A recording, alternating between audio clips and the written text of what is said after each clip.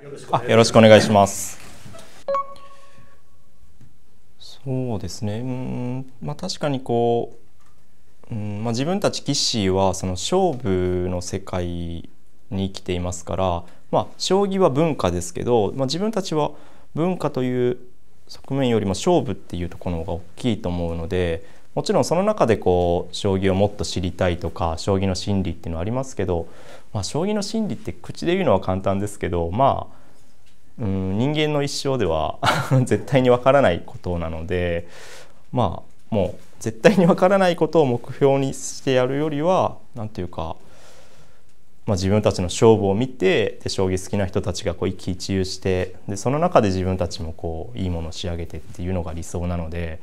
まあ、自分はやっぱり勝負100%でいきたいと思ってるので。はい。で影響を受けたのはまあ一番は久保先生ですね。はい。あの中学生ぐらいの時に随分将棋を教えていただいてだからまあ自分の振り飛車の半分はこう振り飛あの自分の振り飛車の半分は久保先生に作ってもらったと思ってますから、はい、そうですね、まあ、今までの振り飛車党の人もちろん昭和から令和までたくさんいますけど、まあ、その中ではそうですね。序盤よりも中盤ですかね。中盤の指し方が多分あまりいなかったタイプなんじゃないかなと思ってます。はい、うんそうですね。あのやっぱり振り飛車ってこうあまり序盤でやっていくものじゃなくて中終盤でどう競り勝つかっていうのはそれはもうあの昔も今も変わらないのであんまりなんかそこを大事にしている棋士の人は減ってるような気がしますね。振り飛車党は。はい。なんかむしろ振り飛車党の方が序盤を気にしすぎて居飛車党の方が中終盤の勝負の仕方が振り飛車対居飛車においてですよ上手くなってしまっているのでまあだからそれは数年前より今の方がよりまずい状況にはなってるなっていうのはこういろんな人の寄付見て感じます。はい、今こそこう昭和の棋士の振り飛車の寄付とかをたくさん並べてその人たちがどうやって勝負してたのかっていうのを、うん、なんか今こそ感じないといけないなと思ってますけど、はい、はい、やっぱりあのまあ、今やっぱり振り飛車っていうと絶対その次に言われるのが評価値が低いっていうのがもうなんかつきものみたいになってますけど、まあ、あのそういう時代ではあるんですけどまあなんていうか振り飛車はやっぱり評価値を超えれるっていうところを見せたいなと思ってます。はい、いややっぱりこう自分の指した将棋は必ず反省しますね。ただなうんちょっとこう1局の将棋を AI を使って反省するだけで、まあ、自分の場合はですけど随分時間がかかるのでそれもまあそれも一つ勉強法ですし、まあ、あとは自分のテーマというかまあやっぱり公式戦指してて自分がこういう部分がまだまだ弱いなとかこういう部分を強化しないといけないというのを感じるので、まあ、そこを、まあ、AI を使って強化するっていう感じですかね。はい、あんまりうんテーマ局面を AI に考えさせてその手をもとに自分の将棋を作っていくっていうようなことはやらないですね今、まあ、いずれやるのかもしれませんけど今はちょっと30代のうちにそれをやってしまうと自分の気力が落ちちゃうので、はい、だから、はい、そうですね。20代の時にあのそれで失敗して、はい、はい、随分将棋が、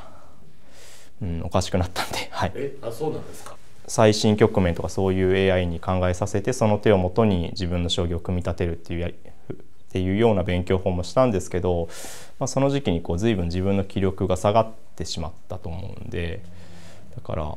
今はもうちょっと その経験も踏まえて、はい、もちろんその AI の手をもとに局面を作るとか自分の将棋を作っていくっていうのもあの考えるんですけど何て言うかうん将棋の骨格を AI が作ってしまっているからなんかあの本当に将棋を考えるっていうのとはちょっとそれ違うんですよね。そうまあ、ただあの時間は随分省けますね。自分で骨格を作るっていうのはものすごい時間が必要になるのでそこを AI が作ってくれるから本来苦労しないといけないところをしなくていいのでだから効率で言えばいいけどと将棋の場合は効率をあんまり追いすぎると弱くなっちゃうんでそれが難しいとこですね。やっぱり今いやみんな個性はあるんですけどそのさっき言ったその AI の骨格が強すぎて AI が作っったものにその人たちの個性ではちょっとやっぱり 力が違いすぎるのでだからちょっと個性っていうのが伝わりにくいんですけど、まあ、みんな棋士それぞれ個性というものはあると思いますけど確かにそれをどうファンの人に、うん、将棋を通して見せるかっていうのは今の課題なんでしょうね。えー、山本キッドさん。あ、はい、やっぱりあの格闘技ってその人の体格って大きいんですけど山本キッドさんはそれほど大きくないというか、まあ、結構小さい選手で自分より大きい選手に勝ちますし、まあ、試合がもうなんか見せるっていううんそう。細かいテクニックっていうよりもなんかリングに獣がいるっていう感じですね。それで勝つのがやっぱり子供の時に見ててかっこいい人だなと思って。でなんかこうインタビューとかでももう一切周りを気にしてない感じでもう素が出てていいなっていう感じがありますね。山本キッドさんは。はい、あでも本格的にやりだしたのはここ2年ちょっとぐらいですけどまあ筋トレ自体はもう5年6年ぐらいになりますかね。はい、きっかけはちょっとこううん10代とか20代前半の時にはそれほどこう新幹線の移動とかもちろん順位戦とかいろいろありますけどそういう時にそれほど疲れを感じなかったんですけどなんか20後半になってきてちょっとずつ疲れを感じてこのままじゃまずいなと思ってでジムに通い出しました。はい、座っててちょっと今までだと正座が全然疲れなかったのがちょっと疲れ始めるなとかっていうのを感じてちょっとまずいなと思ったんで早め早めに手を打とうと思って。はいえーと、自称論でももう初めて読んだの二十歳ぐらいだと思うんで、はい、なんかあの、何回も読むんですけど内容も大体もう頭に入ってくるじゃないですか。でもやっぱり何回読んでもその時の自分の心境とかで全然受け取り方が変わるっていうか。確かにそうですね。この本を読んでこう心にぐさっと刺さる時ってあんまり頑張ってない時というか、うん、内容が厳しく感じる時ってそういう時で。逆にそうだよなって思える時っていうのは割といい時なんで。まあなんか自分の中のうまく なんかそうです、ね、そその本で測ってた部分があります気持ちを。はいあの本の内容はシンプルですね。あの結果を残したいんならすごい頑張れっていう本だと思います。はい。まあそうですね。まあでもあのうん勝負の世界なんで、まあ、やっぱりその結果を残す人っていうのはそれだけの勉強というかそれだけのしんどい思いをしてきてるわけなんでまあうん自分らの世代とか少し上の世代の人たちの頑張りが足らなかったっていうことにつきますね。まあ、もちろんその才能がとかっていうのもありますけどでも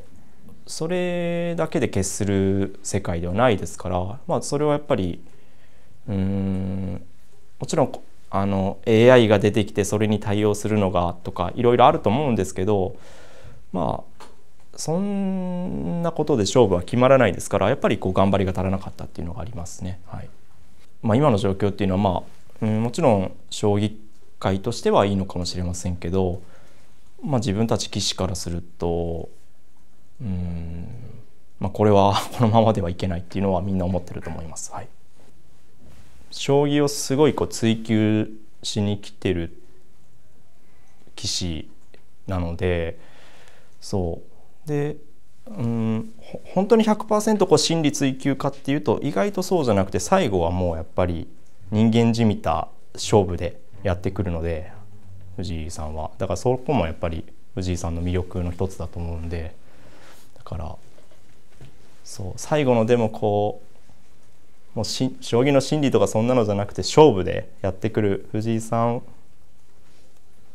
とやっぱり勝負したいのでそこまでいくにはこう自分がうまく、まあ、将棋でいうとやっぱり序盤戦中盤戦をうまくしのいで終盤勝負に持っていけないといけないんですけど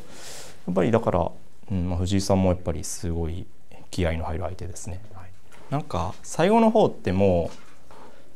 うん自分たち棋士も形勢判断とか一個一個多分してないと思うんですよね。もうがむしゃらになって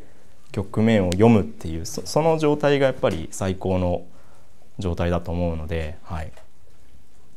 やっぱりその時の集中の上げ方っていうのは藤井さんはやっぱり他の棋士よりかなりレベルが高いっていうかそう。まあ そまあその若いっていうのもあるのかもしれませんけどやっぱりそそうですね。その最後の集中の上げ方が一つの武器ですよね。はい、あそうですね。まあまあやっぱりあの自分がですねそもそもがあのもう数年ぶりのタイトル戦ということでまずそこでちょっとこううまく集中できるかなとかそういったのがまず不安だったんですけどやっぱりいざ始まってみると全然集中できて、はい。まあ、力も発揮できたんですけどそうですね、まあ、藤井さんうん。いややっぱりこう中終盤の読みの精度っていうのがすごく高いなっていうのは感じましたね。まあ、ただ栄養戦はですねあの持ち時間がちょっと短いのでタイトル戦にしては。だからそこはうん、まあ、今までの対局とそれほど違いというのはなかったと思います。はい、そうですそうですなんかこう千日手にしてまあ、その後30分の休憩があるんで、まあ、自分の部屋に帰るんですけども帰った時には自分がすごいいい将棋を千日手にしてしまったことが分かったのでちょっとあの時は30分でうん、まあ、うまく切り替えっていうのができなかった部分はありましたね。そのうんまあ、なんていうか気持ち的にはまあここから切り替えてまた一からあのスタートなんだって思思わないといけないと思ったんですけどやっぱり頭のどこかであれ千日手にする棋士いないよなっていうのは、はい、すぐに分かったので、はい、あれ結構痛恨でしたね。確かにちょっと栄養戦に関しては3局目4局目と随分いい将棋を落としたのであれは痛かったですね。はい。あはいそれはもうあのなんていうかもううん将棋してない時でも考えてしまう ぐらいですけどねだからうんまあでもそれはお互い様というか藤井さんの方も振り飛車対策っていうのはしっかりしてくると思いますしだから自分もこう、うん、あの藤井さん以上の研究をしていかないといけませんね。でまあやっぱり2日制はすごい久々なのでまあちょっとそうですね持ち時間ですとかやっぱ封じ手とかあるんで若干違いますけどまあそれはやっていくうちに昔の経験も生きてくると思うのででやっぱりあの自分の将棋はかなりあの消費時間を食うというか 持ち時間を結構たくさんいる将棋なんで、まあ、2日制の方が、はい、自分は安心してできます。はい、はい、えー、っとまあ、意気込みといってもやっぱりこう、まあ、勝負で勝つか負けるかなんで、まあ、うんまあ、挑戦したのであれば絶対勝たないといけないなと思ってます。はい、自分より随分若いですしやっぱりそういう人と指すと全然こう今までと違った将棋観っていうのを感じることができますね。でまあやっぱりあの、うん、将棋で言えばそうですけど、まあ、実際、まあ、自分たちの同世代とか、まあ、みんな思ってるでしょうけどまあ本当はもっと自分たちも活躍できたはずなのにっていうのはあるので まあやっぱりただ勝負の世界なんでそこの席は自分でみんな自分の席は奪いに行かないといけませんから、まあ、だからなんかこう、うん、プロ棋士でやっていく中で、まあ、まあ人生の楽しみをくれましたね。はい 藤井さんとややるの嫌だなと思い出したらまあもうあの今でもすぐやめた方がいいですね棋士は。はい